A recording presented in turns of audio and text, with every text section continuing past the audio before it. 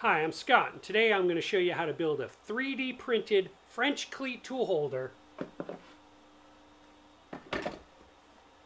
on Dad It Yourself.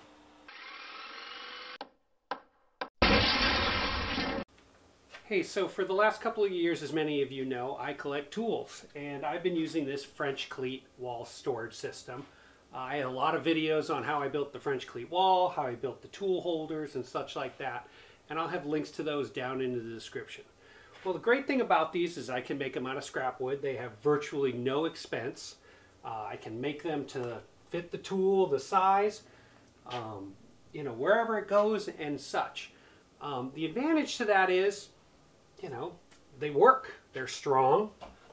You know, the tool doesn't have to be that heavy, or even in the case of a heavy tool like this 18 gauge stapler, it holds just fine. The disadvantage is, is each tool holder is really semi-custom to that tool.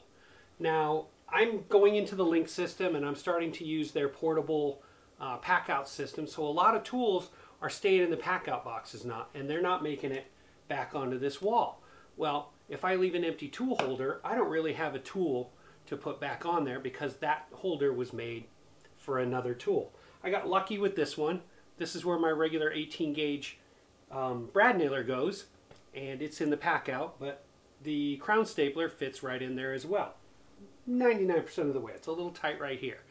But, so what I thought, you know, maybe I'd try something a little different and use 3D printing to build more generic tool holders that I can use for all kinds of different tools.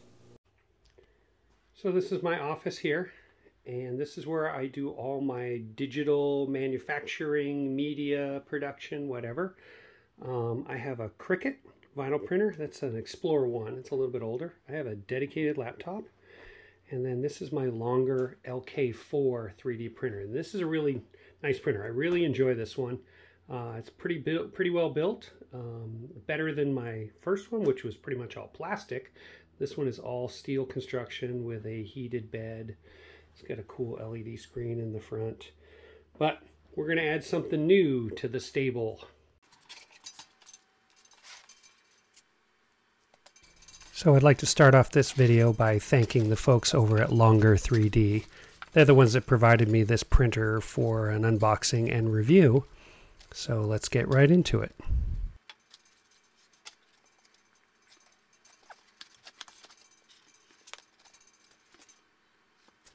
One thing I'd like to add is this unit came exceptionally packed. Everything was hermetically sealed, wrapped in plastic, and fit with the foam rubber, so nothing was jiggling or loose.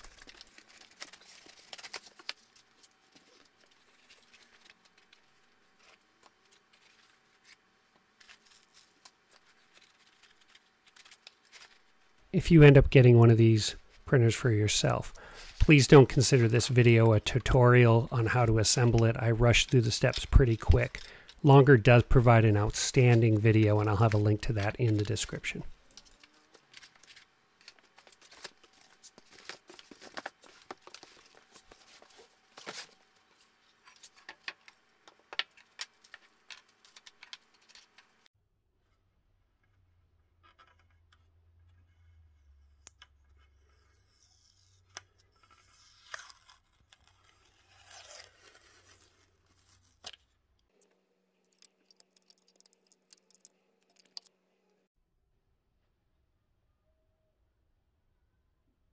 So the instructions look pretty simple. It's uh, looks like seven steps on just two sides of this piece of paper. Let's go ahead and put this thing together.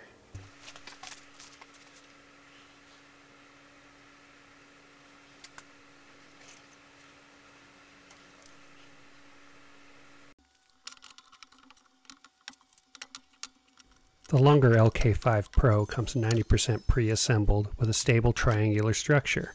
It's a professional FDM 3D printer with a printing size of 300 millimeters by 300 millimeters by 400 millimeters. That's roughly 11.5 by 11.5 by 15 inches. With dual inclined rods to hold your Z-axis solid, this steady triangular structure is for better quality of 3D printer is, and again comes 90% pre-assembled in the factory before delivery.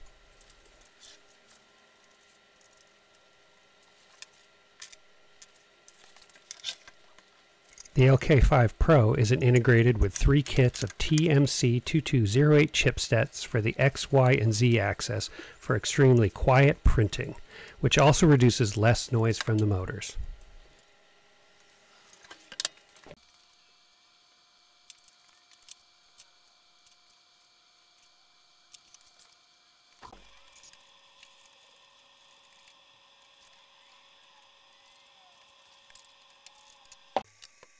As a professional 3D printer, the LK5 Pro is equipped with a high temperature resistant Teflon tube that stands up to 280 degrees Celsius, and it's not going to easily clog inside the nozzle and provide constant quality of printing.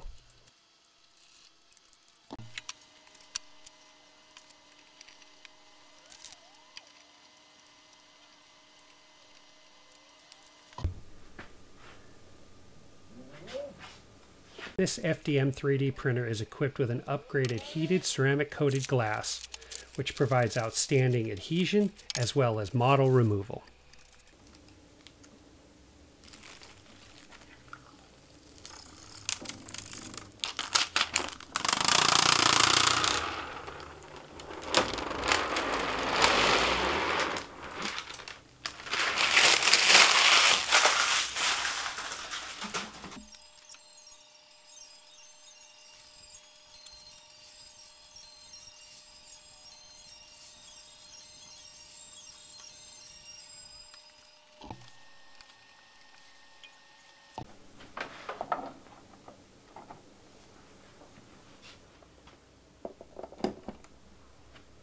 While the standard printer is equipped with a single blower, a dual blower kit option is available to be upgraded. This FDM 3D printer is built with a 4.3 inch full color touchscreen and integrated for better friendly user interface with better interaction with the printer. The LK5 Pro is available on Amazon or directly from Longer 3D from their European or US warehouses. So here's some of the models I've been printing. Uh, this one right here is for a grinder and I took the same model and I just blew it up and sized it and this is for a 5 inch random orbital sander. And then there's those tool holders with the French cleat incorporated in them and here's your battery blank that you can use on just about anything. And these little clippy things here are to hold a furnace filter on a box fan like I have up there. I'm going to rip the tape off and use those to hold a filter. Wow, it's really dirty. So those are cool. And it doesn't have to stop with just tool holders. I mean, you can be doing uh, dust collection nozzles or drawer pulls or replacement parts for something. I mean, it's endless, you know, what you're willing to look for or model or whatever your mind um, brings you to. But that said, if you're going to model something up as a replacement part, you know, it may not be worth your time to do that. If it's available for just a couple of cents or a couple of dollars online, I'd go ahead and do that route, you know, unless you really want to challenge yourself. So, where do I get my models? Well, the internet, of course. Many of the tool holders you will need for whatever brand have already been modeled. My favorite place is Thingiverse, but there are many other free and pay for download websites. In some cases, you can even have the model printed and mailed to you for a fee. This is especially true of the website Etsy. So here's a model that I previously did. What I did was download one of the generic models from Thingiverse and then I imported it into Microsoft 3D Builder, which is a free and pre installed application on most Windows computers. You can use any type of 3D modeling software you're comfortable with, including things like SketchUp or Fusion 360. This is just what I'm comfortable with. I added a few geometric shapes that will provide me the support board, a cleat, and then the bracing for that. The width is your choice, but I've been printing everything at 5 millimeters thick and just for the record, that wedge is 24 millimeters by 12 millimeters. And when it's rotated to 90 degrees, this will give you the three quarter wedge you need for your French cleat. All these items are sized, placed adjacent to each other, and then merged together. This can then be exported into a slicer program and printed.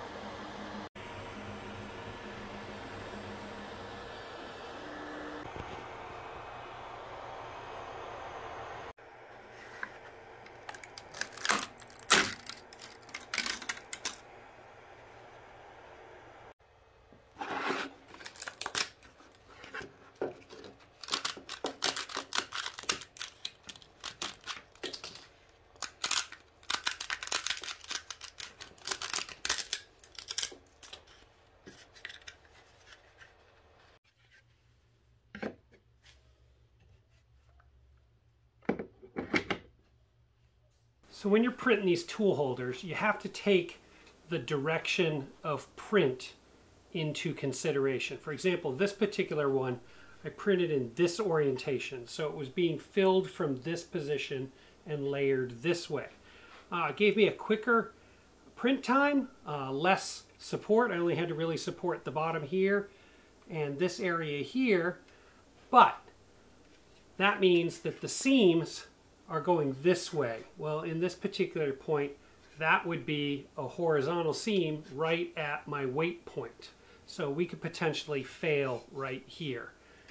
This one, I printed in this orientation, going this way, so it was more linear to what would be considered the pressure point going this way and there wasn't that type of fill. So this probably wouldn't be your fail point.